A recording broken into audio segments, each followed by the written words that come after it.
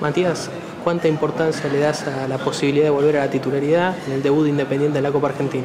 Y la verdad, muy contento, bueno, disfrutando mucho y bueno, tratar de hacer bien las cosas para, para poder jugar en el equipo titular. ¿Qué saben de Santa Marina, el rival?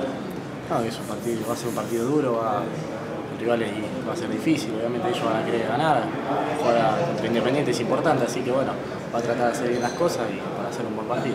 ¿Cómo lo ves al equipo actualmente? Bien, bien, lo vemos bien, ahora estamos pensando mucho en el torneo, que es muy importante y bueno, ahora surgió lo de la Copa y que, también es un torneo importante, así que tratar de hacer bien las cosas. ¿Y cómo te ves vos eh, personalmente en el equipo? Bien, bien, me veo bien. Ahora, eh, obviamente, este partido me va a servir para, para mostrarme y para tratar de estar en el equipo titular y en el torneo. ¿Qué significa viajar el interior por la Copa Argentina, que la gente conozca el equipo?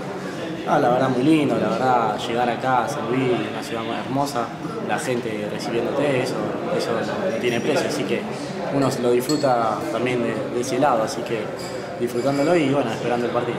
De cara eh, a la B Nacional, eh, ¿cómo lo ves Independiente en este último tramo del torneo?